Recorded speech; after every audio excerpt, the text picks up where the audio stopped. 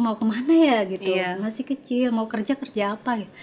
Ya jadi pembantu aja aku bilang gitu kan. Iya tapi di mana ya yang mau nerima masih kecil gini gitu kan?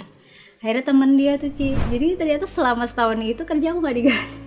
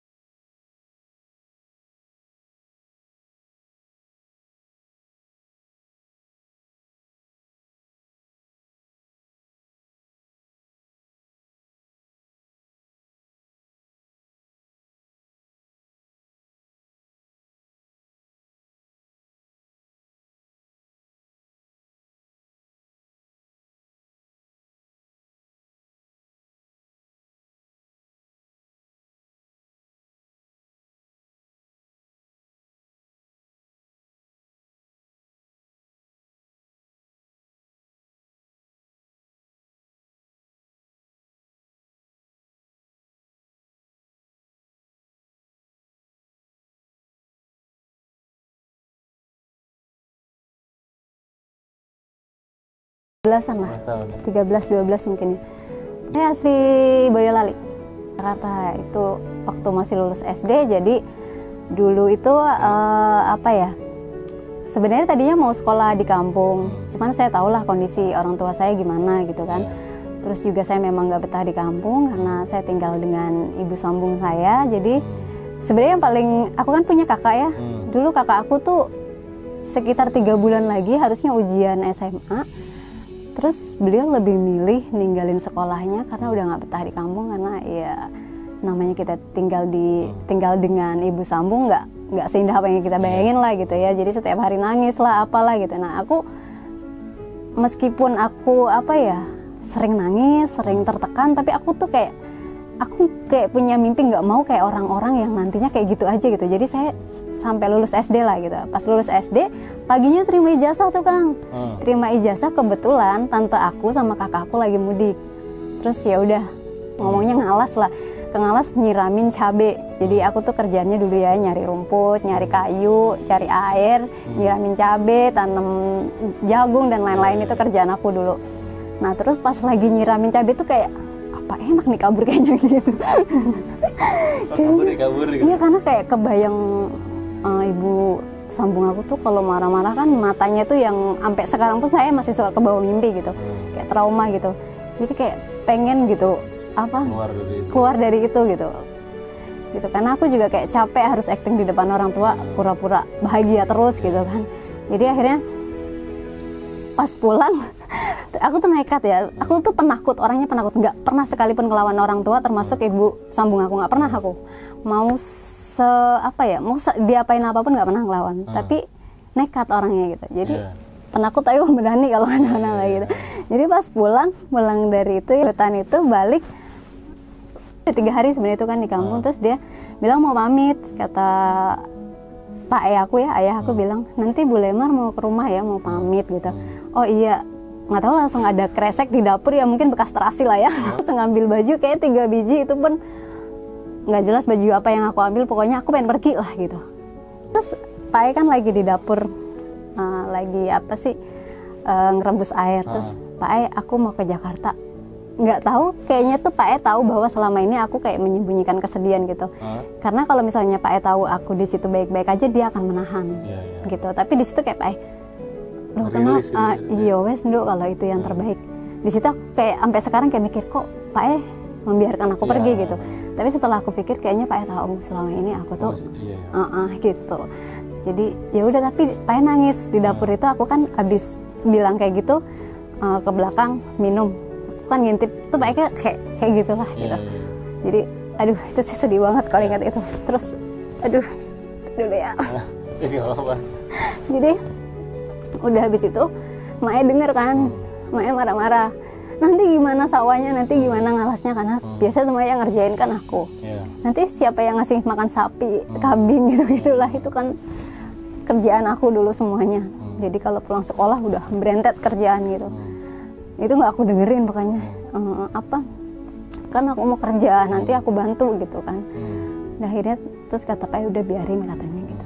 Kan udah pas bule datang mau pamit ya udah aku pegangan bule kenceng eh, bule aku selalu inget pegangan Iya, aku iya. yang Pas itu momen yang iya gue yang dia aku megang dia kenceng tuh bule kayak mikir ini anak kenapa ya? Gitu kan. Jadi dia sampai sampai mau nanya ngapain ikut itu tuh nggak berani karena dia tahu kayak ini anak kayak orang ketakutan gitu. Iya. jadi ya udah jadi akhirnya pergi pamit. Itu aku tahu sampai aku nggak berani ngeliat mata ibu tiri aku kan kan dia dia kesel banget. Mungkin kalau bisa aku diremes kali. Kan nih anak kok nggak ada ngomong apa tahu-tahu pergi gitu kan. Udah dari situ uh, langsung ke Jakarta kan pamit. Bawa anak orang mau diapain dan dia sendiri juga pasti kan ya pas-pasan lah untuk keluarganya karena dia kerjanya juga di British waktu itu sebagai aku juga nggak tahu sebagai apa. Pokoknya dia untuk keluarganya juga pas-pasan. Jadi pas sampai rumah dia cuma aku sih dengar dia ngomong sama om aku ini Ah. anak mau diapain ya? Mau dikemanain ya? gitu. di situ aku ya di sini juga membebani orang Orang di sisi lain nih anak tertekan gitu iya kan. iya. Makanya sampai sekarang aku dekat banget sama tante aku ini kan. Hmm. terus abis itu Dok, eh, kamu gimana? Di sini nanti gini. Boleh aku ini aja karena di kampung aku tuh udah biasa orang lulus SD kerja jadi pembantu gitu dulu seperti itu sekarang sih udah nggak. Jadi ya pikiran aku ya ke Jakarta pasti jadi pembantu Oh, iya, lah. wes, pasti iya di gitu Jakarta, pasti dan aku kan anak kecil nggak tahu apa apa taunya semua orang di Jakarta bakal ada lowongan lagi gitu. Iya iya iya gitu jadi kan kan bisa jadi pembantu bule. Emang bule nggak nggak punya kenalan buat gini. Ya coba nanti boleh bantu ya gitu. Iya. tapi kamu masih terlalu kecil maksudnya. Iya tapi kalaupun pekerjaan di bawah umur itu ya. kalaupun di sini juga boleh mungkin ya tempat tidur juga sempit-sempitan kan. Ada kakak aku juga ada anak dia gitu. Hmm. Akhirnya pas banget temennya cari pembantu tuh. Ya ada nih tapi gajinya 100.000 ribu. Nggak apa-apa nggak digaji juga nggak apa-apa saya mah yang penting bisa hidup lah di sini gitu. Ya udah akhirnya kerja tuh pertama sama temennya tante aku cuman cuman akunya yang belum bisa kerja karena kan beda kan cara kerja di kampung sama di kota. Gosok juga kan kalau di kalau kalau zaman dulu kan gosok kayak ada lipat-lipatan itu nggak pernah lurus yang kayak gitu-gitu. Jadi aku juga ngerasa sih aku di situ kayaknya nggak perform deh gitu. Terus apa eh, temen tante aku bilangnya sih ini apa ya ini nggak betah katanya gitu. Padahal aku betah aja sih. Akhirnya gitu. Terus tapi kalau bilang sama aku ini ada saudaraku yang bekerja jadi kamu terpaksa harus dipulangin ke tante kamu itu. Ntar enam bulan deh kalau nggak salah. Lupa aku sih di situ. setelah itu ada tetangga orang ini ada tetangga apa bukan tetangga sih ini ada orang nyari tetangga bilang gitu. "Eh, dia mau ini masih kecil gini. Iya dia nggak apa-apa emang dia maunya anak kecil yang masih baru-baru gitulah gitu yang belum punya pengalaman. Oh ya udah. Jadi akhirnya kerja di tempat yang kedua itu. Oh, iya. nah itu sampai bertahun-tahun sampai sampai selesai lah sampai sekolah. Eh, jadi itu kan aku jadi pembantu eh, di tempat ibu itu ya. Jadi ibu tuh dibilang eh, baik dibilang nggak baik ya kadang baik gitu jadi kayak gitulah cuman memang apa ya ah bener-bener kalau kita kayak ngepel apa harus yang Ya. bersih Banget banget. gitu Ini ya. kalau misalnya itu diulang deh marah-marah lah, apalah yang kayak gitu-gitu. Kayaknya jadi pembantu dulu sekitar dua tahun lah, Oh. satu setengah tahun. Jadi cuma ya? benar-benar jadi, tapi enggak bukan bukan betah sih.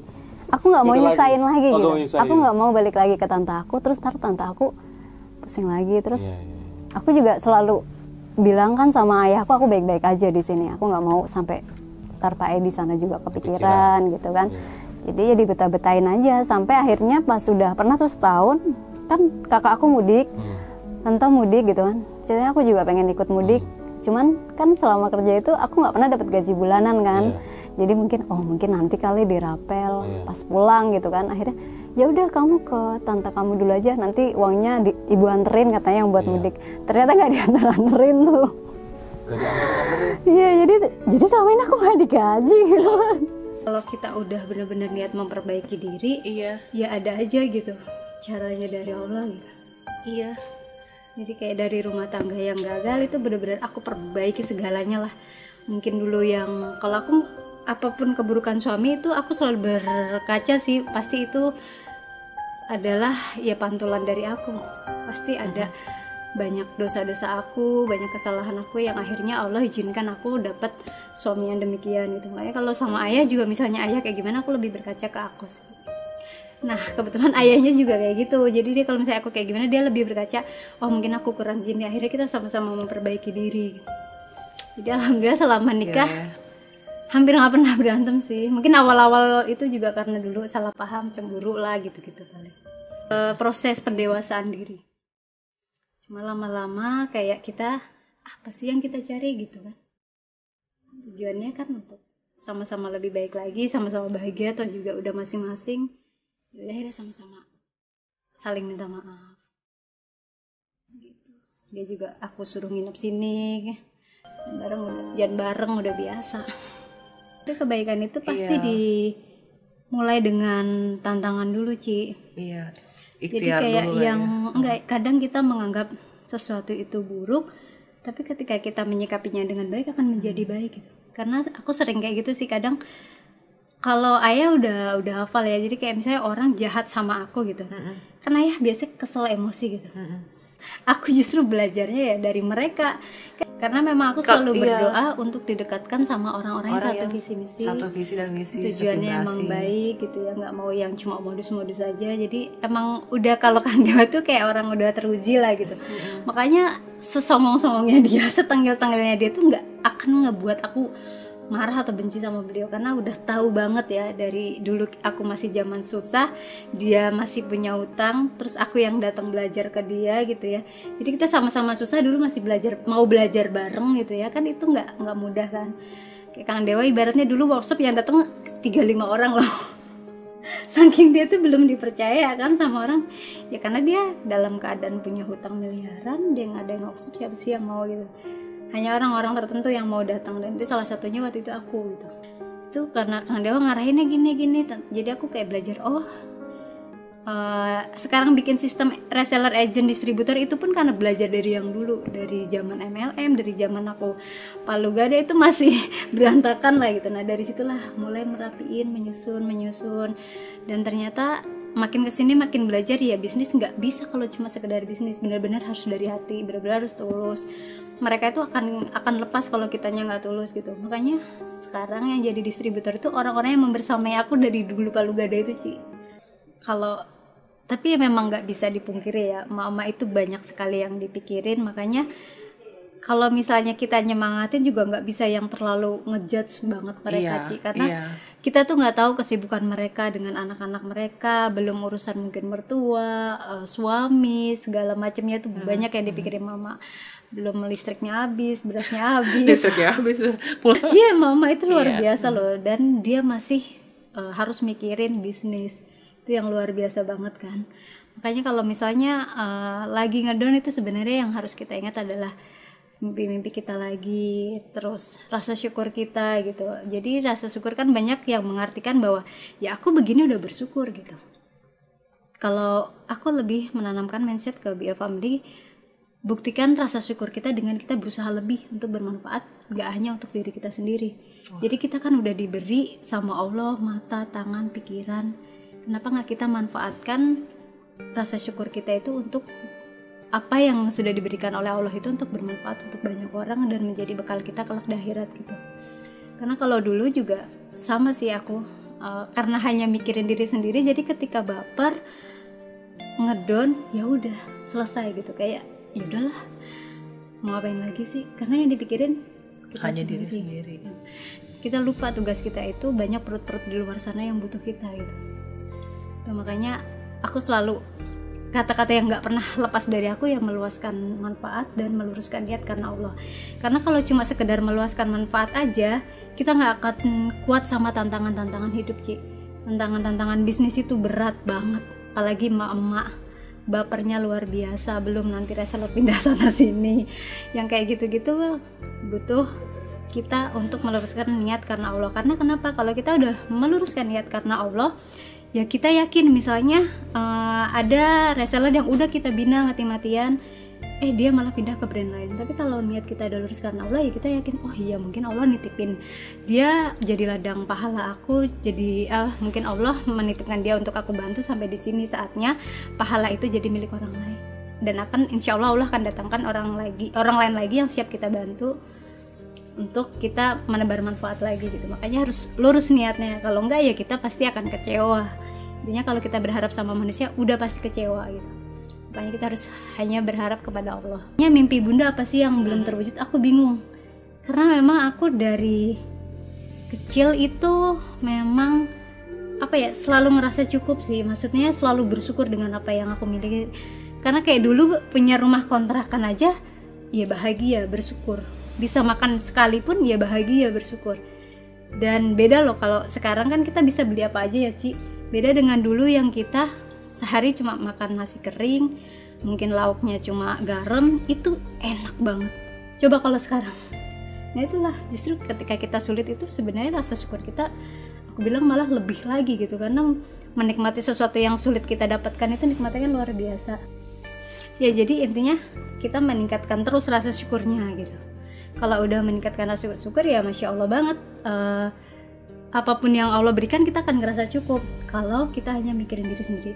Tapi ternyata kalau kita membuka mata Ci di luar sana tuh banyak sekali yang harus kita bantu itu baru kita ngerasa kekurangan gitu. Sering ngerasa ya Allah ternyata aku belum apa-apa gitu. Banyak yang harus kita bantu di luar sana gitu.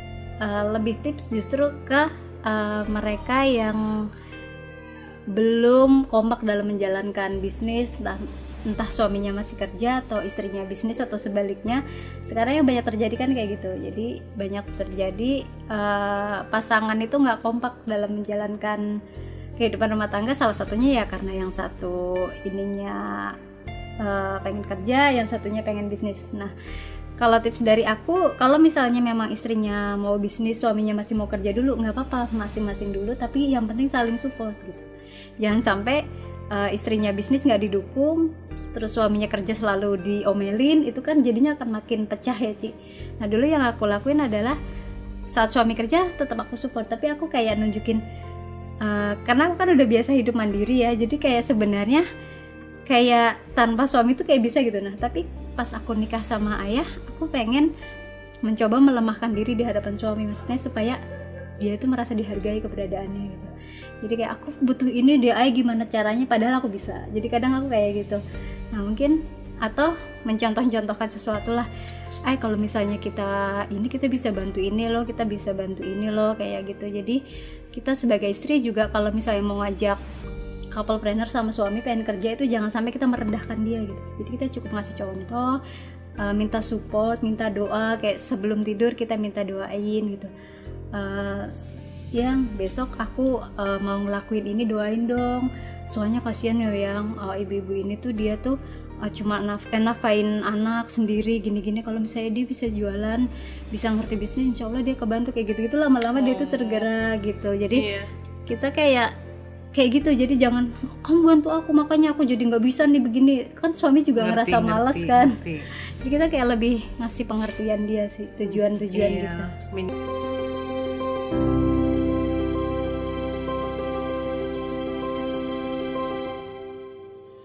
Tidak masalah berapa kali kita gagal kawan. Tidak penting berapa kali kita hampir berhasil. Kecewa karena gagal masih jauh lebih baik daripada menyesal tanpa melakukan sesuatu. Yang perlu kita lakukan belajar dari kegagalan itu. Orang-orang di sekitar kita yakin bisa kita bangkit. Janganlah takut dengan kegagalan ini. Mencoba satu kali lagi. Dan ketika mencapainya, semua orang tidak tahu kisahmu. Betapa beruntungnya Anda semua ini.